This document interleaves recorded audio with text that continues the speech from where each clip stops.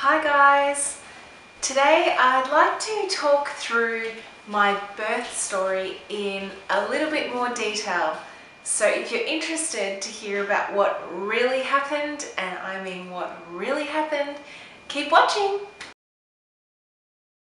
On the 23rd of December 2015, I was sitting in our study with Mike and I was actually making a little Christmas stocking for my cat Oreo, which I'm sure sounds like a real crazy cat lady thing to do, and it is. But it was funny, whilst I was making it, Mike made a joke saying, are you going to make one for baby Thunder? And I said, no, don't be silly. He's not due to arrive until the 9th of January, so why would I make him a stocking when he's not going to be here for Christmas? Within about five minutes, at exactly 9.58 p.m., my waters broke. Now, I had a sort of a little bit of a warning waters breaking moment a week before or possibly even four days before where I started leaking some water. Oh God, it sounds really disgusting, but it just felt like my undies were a bit wet.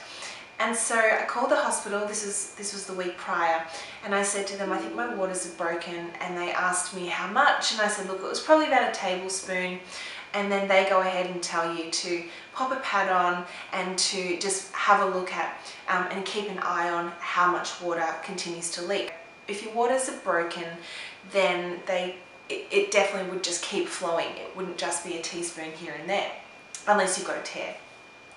So did that a couple a week ago and nothing else eventuated from it. On the night of the 23rd when my waters actually broke, that was for real. I mean, it was a gush. It felt like a litre of water had just decided to exit my body. And I stood up, literally walked to the laundry, which is just across the way from the study, and just said to Mike, I think my waters have broken and both of our faces were literally just like we had no idea what to do. Uh, we are running around like crazy little ants going, oh my gosh, oh my gosh. Um, until I think one of us had the sense to go, okay, contact the hospital, let them know what's happened. So Mike got his phone, called the hospital, and she, uh, the maternal, um, oh sorry, the midwife, spoke to me and said, okay, let's talk about what your waters look like, are you in pain, etc. At this point I was in absolutely no pain, it was just more shock that uh, this was actually happening, which actually kind of made me cast a bit of doubt over the whole thing whether I was in labour because my preconception of it was that you need to be in pain first and then your waters break for some reason, but um, no, it didn't happen that way for me. If you girls uh, go into labour without your waters breaking, that's absolutely normal. At this point in time, the midwife said to me, okay, lovely, time to pack your bags and bring them to hospital because we're going to admit you. And I think Mike and I just about flipped out with excitement. The next couple of minutes was spent doing totally irrelevant activities. I stacked the dishwasher, Mike continued to make his cake for the next five minutes and make sure that that was all set and all blended and cooked and all sorts of things like that. I think I went into uh, the bathroom, I went into Ted's nursery, I went into the bedroom three or four times with no particular purpose except just to walk in and out of the room. So however you decide to cope with the excitement slash, I guess, you know, um, emotions of that moment, just live in it, make it happen. In about 10 minutes or so, we had the hospital bag packed. Thank God I'd had that packed only a few days prior. So a lot of women were telling me, pack your hospital bags at week 35. I have to now say, in hindsight, that would have been a really good idea. Instead, I packed mine at 37 weeks. So just make sure girls just have it all ready to go because it's the last thing you really want to worry about when the time comes. Within 10 minutes we were in the car. This would have been close to maybe 10.30. We were driving to the hospital which was only a 15 to 20 minute drive away and if you'd watched my actual vlog on the birth story and the journey you would see that I was really excited, looking pretty tired, looking pretty drained already because it was quite late and naturally 10.30 for a prego woman at 37 weeks was bedtime. I still wasn't experiencing pain. I was just more so wondering what was going to happen once I got to hospital. So as soon as I got to hospital, I had to fill in a bunch of paperwork. They showed me straight into a room, a birthing suite room, which was huge. It probably could have housed about 20 people, but it was good because it felt as though, it didn't feel cramped, it felt as though I had room to walk around. There was a private ensuite as well where I could take a shower if things got quite serious and I needed some pain relief. There was a lovely little recliner for Mike to sit on slash sleep on if he had to and a TV and then of course a whole heap of hospital equipment. Once I was in hospital they strapped me onto a monitor and they put uh, two monitors on my tummy which you would have seen in the vlog as well and one of them measured the heartbeat, one of them measured my contractions and that's just the way that we sat for the next hour waiting and just assessing how things were going. Teddy's heartbeat was doing really well and my contractions again hadn't started. So at that point, the midwife actually gave me and Mike the option to go home, try and get some sleep. And we also contacted my obstetrician and told her what was going on. At that point, she said, go home guys, come back tomorrow morning on Christmas Eve at 7.30 a.m. And at that point in time, we're going to put an oxytocin drip into your uh, in, into me and would effectively start the labour process, otherwise known as being induced.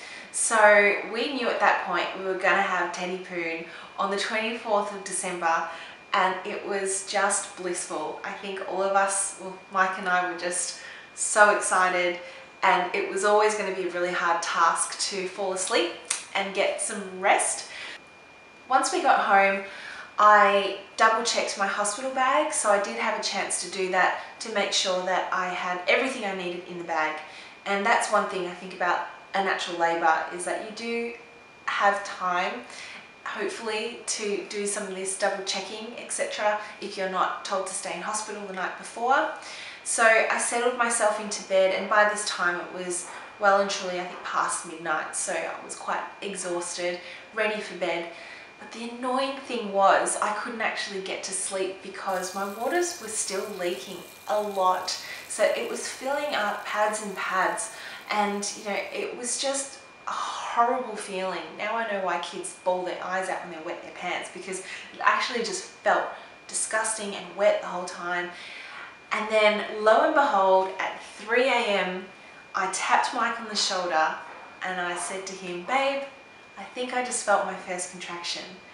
And I wasn't quite sure if it was or if it was just a really strong period type cramp, but regardless I found out that's what a contraction is in the early stages. Uh, within about 15 minutes, I then got another wave, another contraction, and I knew then to start timing my contractions. And thank God we went to those birthing classes, the ones that I complained about all through my weekly updates, but the one thing I did get from them was to time my contractions.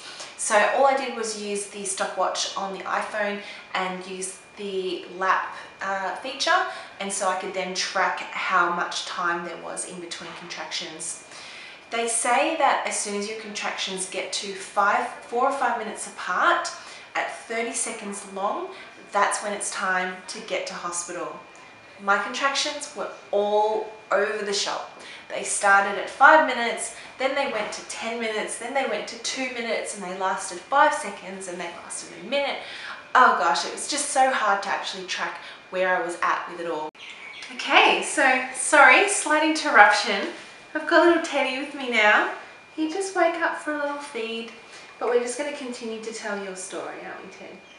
Once we decided that we were going to hospital, it was pretty serene. I took a long hot shower and Mike made us some cups of tea and I just really took it all in. It was a really lovely moment where I think Mike and I just sort of sat in the kitchen for a little bit and just went, wow, this is the last moment that we're really here is just Mike and I in this house without a little baby in the house. And we just took it all in. It was just starting to uh, become quite light outside, so the sunrise was happening, and it was such a great moment to take stock of what was going to happen today, well, on the 24th of December. Once we got to hospital, we went to the same room that we did the night before. They held the room for us, and I was back on the monitors. The midwife from the night before was still there, and she was just finishing up her shift, so it was nice to be able to kind of say thanks to her for the support throughout the night. And by this time, it was probably about 6 a.m. and I was told that my OBS was going to come in about 8 to 8.30 to check on me and to basically get things started. I was fairly certain at this point that I wouldn't need an oxytocin drip um, or to be induced because my contractions were happening pretty quickly and they were all, you know, while still very sporadic, it was definitely getting quite full on. And, you know, Mike just made himself comfortable. We just sat there and had a bit of a chat. We watched a bit of TV. Um, I think I watched a bit of YouTube. I Instagrammed a little bit. We might have vlogged a bit more. The time went quite quickly, even though I was experiencing pain every five to 10 minutes. Once the pain got quite intense, so once it started to kind of really build, um, Mike was there watching the monitor and you could sort of see the numbers go up and up and up and then it would peak and then it would come down. And as the numbers went up um, you know Mike was really lovely. He was rubbing my back he was spraying my face with this um, rose spray that I brought along with me and getting me lots of water lots of ice. And then once it passed we would just talk as normal and have a conversation to get my mind off things. It was it was quite a unique moment to be in and every now and again the midwife would come in and check on me and see how I was going. I will say at this point that at no specific moment in, um, in the birth did any of the midwives say to me, do you want certain pain medication? So I really had to drive that conversation. It wasn't really forced upon me, which I really liked. It also wasn't offered, which was really like, I, I quite liked that because it meant that I could make the decision as to when I needed further pain medication or if I was just fine um, moving through it as I was. So it did get to the point where I actually couldn't bear the pain for a lot longer. I ended up having a hot shower for what seemed like half an hour, but I think it was probably about 15 or 20 minutes where I just sat down, there was a seat, there was no way I could be standing at this point.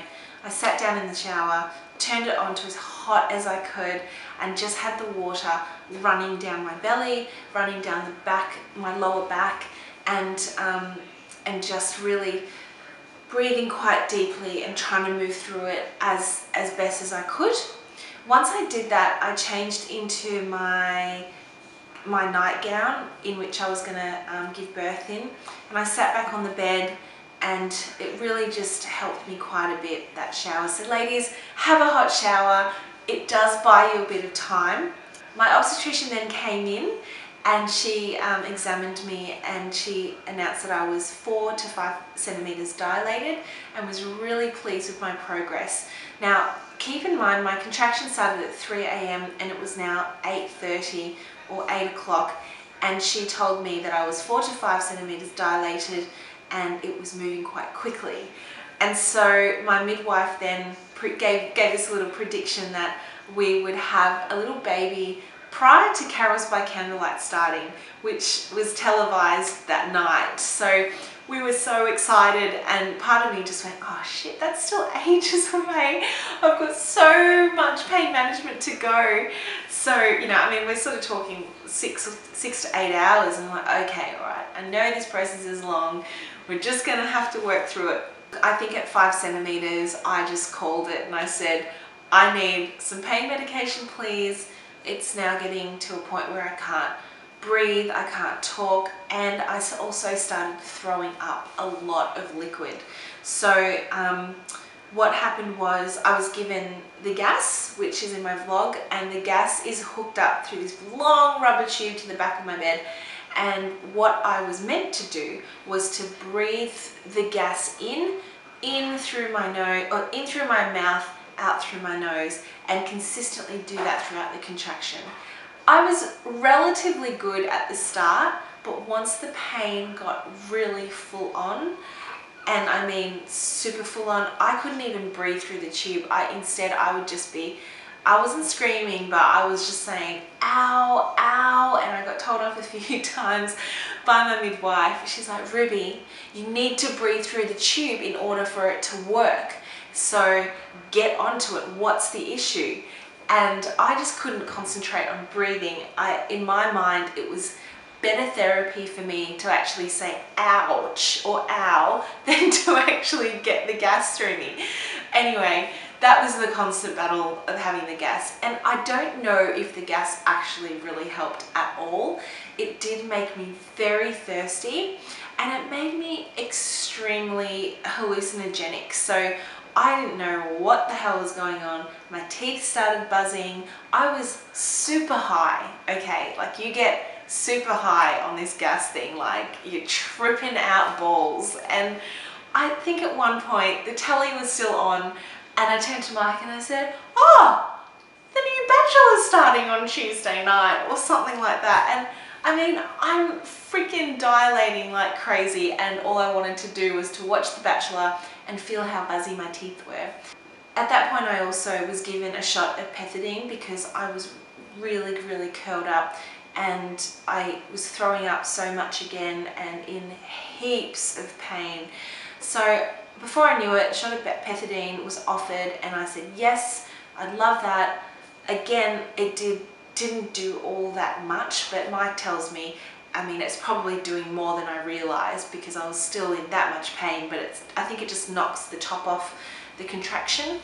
The pethidine, again, made me very, very sick. I was throwing up a lot again, and it just didn't make me feel great at all and I think at that point I was close to being maybe six, seven centimeters dilated and that's when active labor really kicks in.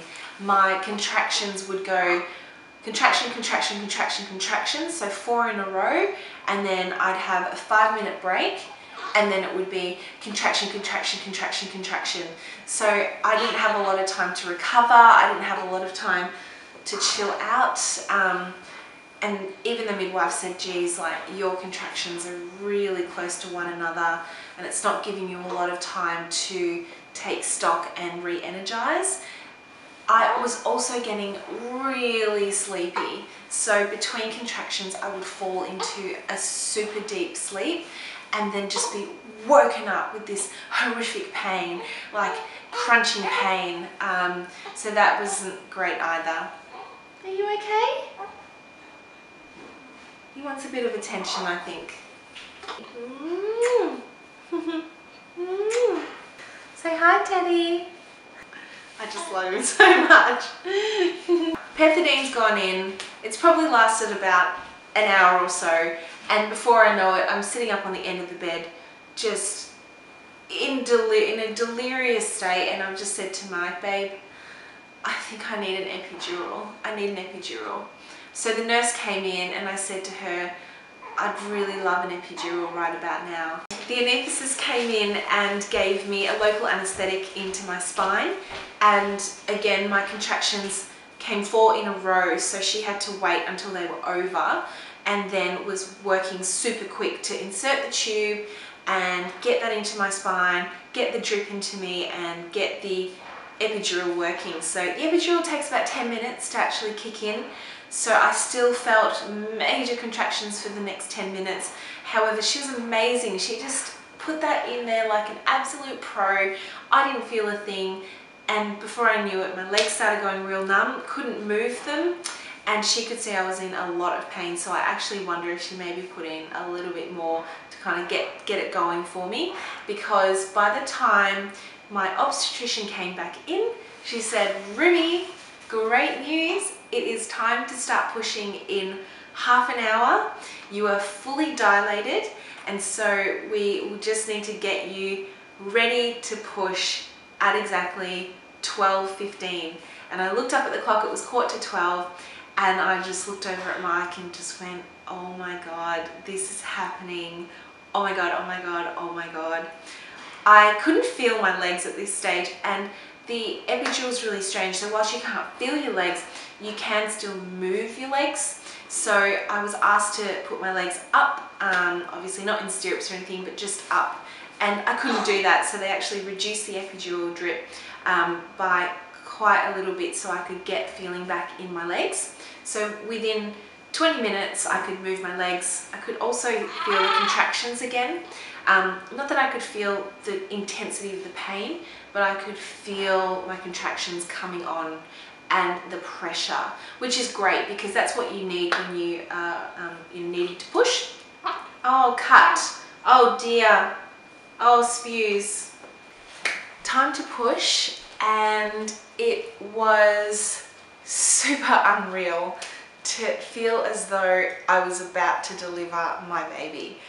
And, you know, it was such an incredible experience. I had the midwife on one side, she was holding my leg, and she just looked straight over at Mike and said, right, you grab the other leg, let's do this. And so he then grabbed my other leg, and I had Mike and the midwife just absolutely encouraging me and rooting me on and saying the most I don't know, incredible things like, yes, you can do it, you're almost there, and we can see the crown of his head, and gosh, it just, that hour went so quickly. I would have been pushing for a good hour, and whilst it wasn't excruciating because most of the pain happens once your contractions are done, it was extremely uncomfortable, but there was something quite relieving about pushing with the contractions that made it a little bit easier to handle. Whilst I had the epidural, again, I think because they've sort of taken most of the edge off um, the contractions and, and whatnot, the drug was starting to wear off and I could feel everything. So it doesn't last the whole time, ladies. And if you want it to, I think you need to say something, but I felt as though it was going to be fine if I just carried on without a top up. It got to the point where the midwife said to me, okay, we can see his head, all we now need to do is get him through that last little bend because babies sort of sit on a bit of a bend and we just need to keep pushing him out so that every time I pushed him out he would stay out a little bit further rather than going back in and I could feel this movement happening throughout the last 20 minutes or so. And then she said to me, do you want to reach down and feel the baby's head? And guys, I just, I couldn't do it. I just sort of said, no, that's fine. I'll touch his head when he's out. Thank you very much. And she said, all right, well, would you like a mirror? Would you like to see his head? And again, I'm like, I don't need to see what's happening down there at all. And I still have no regrets in terms of turning the offer down but my very brave boyfriend had a look and he was there down at the business end the whole time and was just, you know, I think his experience was just as special as mine and he just said it was absolutely incredible to see his son being born and to see, you know, the crown of his head and, and all sorts of things happen down there as well. Uh, at this point in time, my obstetrician came in when I was just about to deliver and she had a quick look and said, right, we're not very far at all, couple of pushes and Teddy will be in this world. Um, so off we went, I had a couple of big deep breaths, I pushed, pushed, pushed, and then before I knew it, I could hear a little snip. So um, that was when I knew that I had an episiotomy, um, which, you know, again, I couldn't really feel at the time. There was so much going on, adrenaline was rushing, people were, you know, just getting things prepared in the background. I could see that they were warming a bed for Teddy. Um, I just wanted him out at this point in time. So I had a little snip down there, which was, you know, I think necessary because within about two pushes, he was out and I could feel the pressure come out of me like it was just this gush of pressure which was released from my tummy. It was the most incredible feeling. Um, and, and as you know, they do put him straight on you, so skin on skin. At this point, Mike had cut the cord, which I didn't get to see because there was so much going on. The midwives were cleaning Teddy just a little bit. They do leave a lot of the birth juice on him and they leave it on there for quite some time just to nourish the skin and to protect it. So um, by the time I had Teddy on me and they'd cut the cord, I was man I managed to bring him up onto my chest. Now, one thing which absolutely scared the living lights out of me, and I know I knew this, I knew this going to birthing classes, but I think in the, in the moment you just don't really think about it that much. But he actually came out purple and blue and he was relatively quiet so he wasn't screaming at the top of his lungs like you see in the movies. He wasn't a pink baby. He was purple and blue and quiet. And at, uh, look I think at this point they'd established that he was breathing he was fine but they did need to call in a pediatrician to come and look at him fairly quickly. And they did just that. So they took Teddy off me at that point in time and they did a couple of checks. And at the same time, I was getting worked on down south in my lady bits. So after you have the baby, you are supposed to also deliver your placenta. So I had a bunch of, I guess, medical staff looking at me down there. I had my neck craned over there trying to look at Teddy and I couldn't quite see him. There was too many people in the room. Um, Mike was over with Ted and I just I got so overwhelmed. I actually just thought the worst and you know, think as a new mum, you've just been given something that's been so precious and then it's been taken away from you and oh, it's just, it's just a horrific few minutes and Mike came over and said, it's fine, it's fine. The pediatrician was really encouraging and she just said, look, he's absolutely fine. There's nothing to worry about. He's just swallowed a whole heap of mucus when he's come out um, and it just means that he's not yet been able to really voice um, or scream as, as most babies do. So um, they did have a quick look and he was, he was absolutely okay, but he was a very quiet baby coming into this world and he's still relatively chilled out and relatively quiet baby. So perhaps that's just Teddy's style and I'm so happy that that all worked out. Now to add to the drama as well, just when you think the birth's over, I did mention earlier that I had a few people looking at me down south and that my umbilical cord was quite short, meaning I could only have Teddy on my tummy, not on my chest. What happened was, was that my placenta was sitting quite high and it was sitting quite at, sitting at the back of my uterus wall. So hence why the cord was quite kind of stuck in me, if you like. Now, they usually give you an injection in your thigh which helps pass your placenta out within five minutes of having the baby. This had absolutely no effect on me whatsoever. And this meant serious business. My obstetrician came up to me and said, look, this is what's happening. Your placenta's really high. We need to get it out ASAP. I'm just going to step outside of the room and change my shoes. And I thought at that point, Okay, so she's wearing little kitten heels and she's going out of the room to come back to her flats. This has to be serious. And um, she also questioned me as to whether or not the gas worked, the, the gas when I was in early stages of labour. And I said, no, not really, why? She said, oh look, you might need it for this next little bit.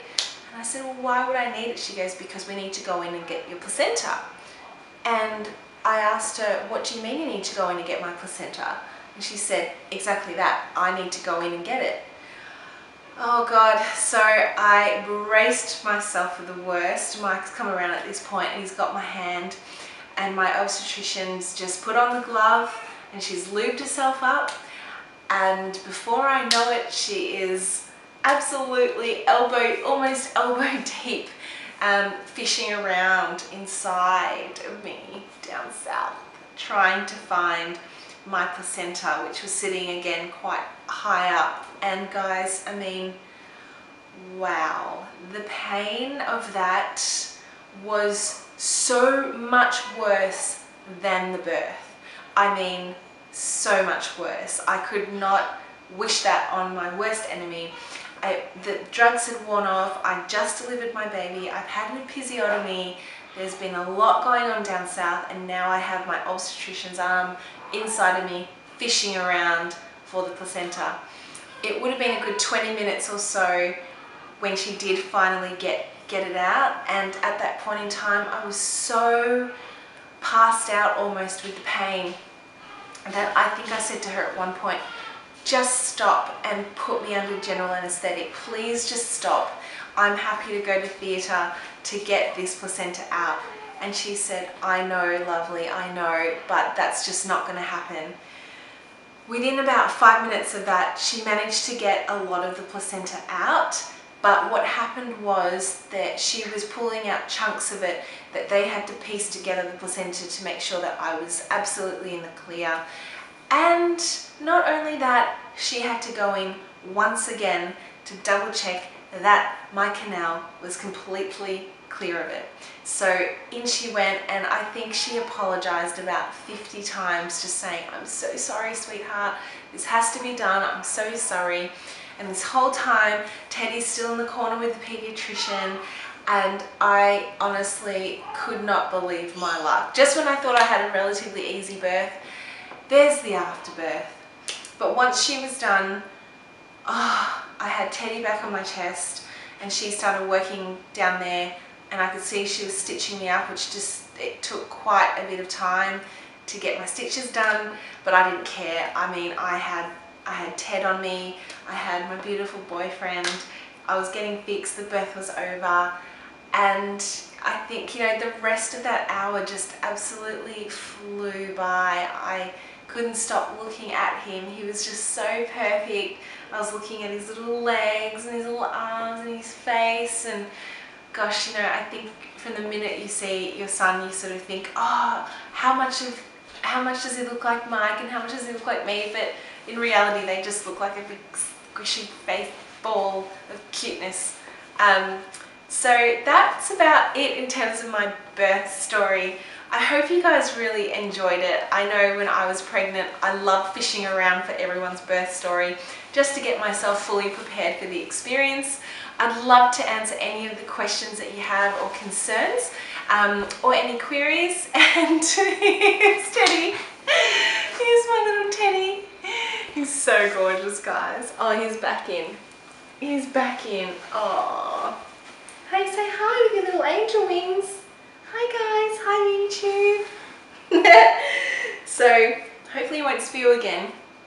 But please let me know if you um, if I haven't covered off on anything otherwise subscribe or follow me on Instagram at Ruby in real life and you'll see plenty of photos of me and this little guy. Alright guys take care and all the best with your delivery. Bye